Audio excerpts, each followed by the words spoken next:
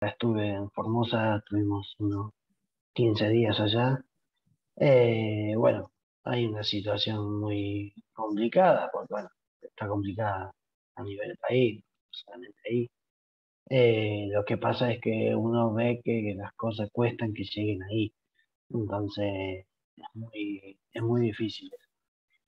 Entonces, bueno, con esto, mira, a mí me pasó algo de que estuve dos días varado en Orán, Salta, por falta de gasoil. Mm. Y, la falta de gasoil después va, que te lleva es que conseguimos el gasoil a 300 pesos el litro. Y después las cosas, obviamente que nosotros vamos a preguntar por puertas, ventanas, estamos haciendo un anexo en una escuela y puertas que salían 15 mil pesos, 9 mil pesos, estaba todo el doble. Entonces son cosas, viste, que...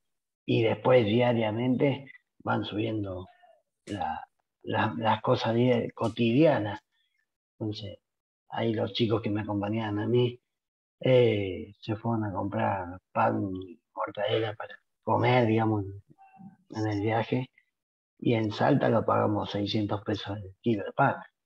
Entonces, la gente en sí, la, gente humilde, es muy difícil que, llegue, digamos, a, tener esas cosas. Hasta el día de junio vamos a estar acá, eh, en la casa de Zulema Gobernatoria, en Gorriti 60.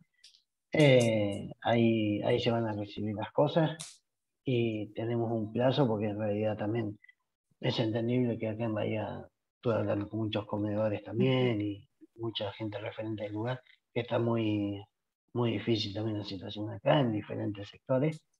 Eh, así que bueno, eh, me tomaré este tiempo de mayo para ir de a poco reconectando lo que es alimentos no perecederos, lo que es ropa, lo que es colchones.